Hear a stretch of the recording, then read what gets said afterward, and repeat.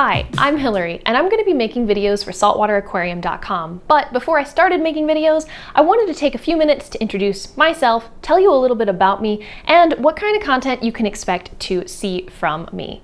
So for starters, I'm a marine biologist. I have a degree in marine science, and most of my graduate and undergraduate work was spent focusing on oyster restoration and coastal conservation and ecology.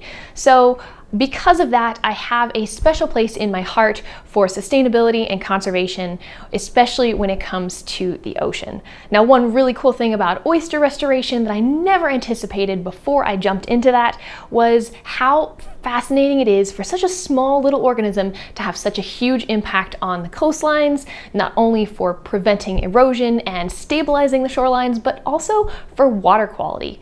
And that really plays in so much to aquariums and aquarium keepings that it was really no surprise that in college I had a fish tank. I actually had a freshwater tank that eventually turned into a brackish tank and then saltwater.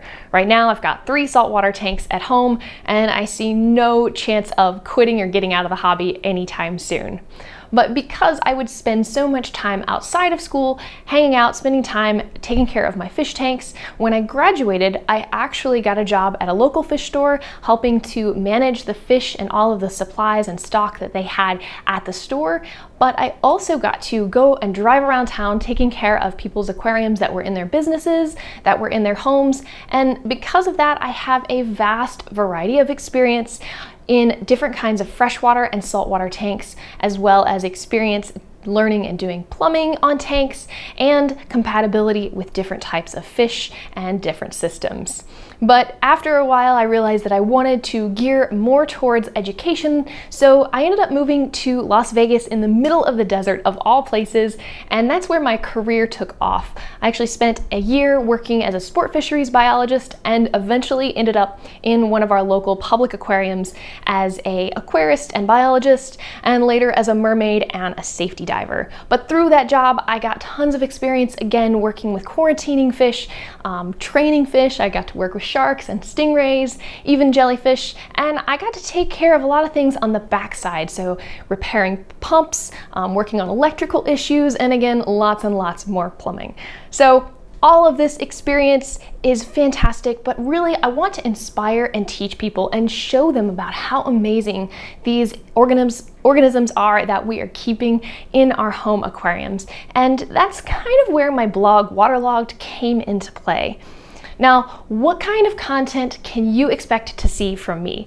So first off, I'm gonna do a lot of what might be considered beginner content. So videos like how to pick out a fish, what to look for when you're buying a fish, how to quarantine your fish, or fish compatibility. Things that you have acquired knowledge about over the course of keeping fish, but maybe not something that you knew in the beginning that you wish you had known. Another type of video that you might see from me is videos about sustainability and conservation. I mentioned that a lot of my work in school dealt with that sort of thing, and it's still a huge passion of mine. Now, if you think about it, we are keeping miniature ocean ecosystems in our homes. So of anybody, we the hobbyists should be the biggest supporters of ocean conservation and restoration and sustainability. So I will hopefully be doing some videos um, how to be a sustainable aquarist and how to give back to ocean conservation, maybe outside of aquarium keeping if that is of interest. Now the last type of video that you might see from me is behind the scenes videos.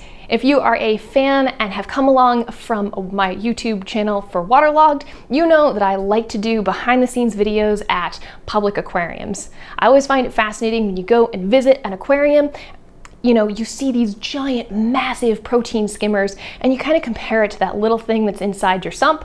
But it's so fascinating to me to see all that sort of stuff and even to compare from different aquariums and see how different people are doing things because there's so much information out there in this hobby, both professionally and private in people's homes. And hopefully, if we share this information, the hobby and the industry overall is going to grow. So if you or someone you know work at a public aquarium and you're interested in hosting a behind the scenes tour, feel free to leave a comment or send a message. We would be more than happy to hear from you. Hopefully we can facilitate a tour.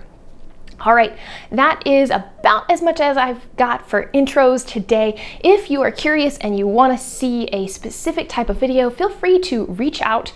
I'll include all this below in the caption, but you can reach me on Instagram, waterlogged1313, or you can visit my website, waterloggedlife.com, and connect there. I hope to see you in some of the future videos. Talk to you later.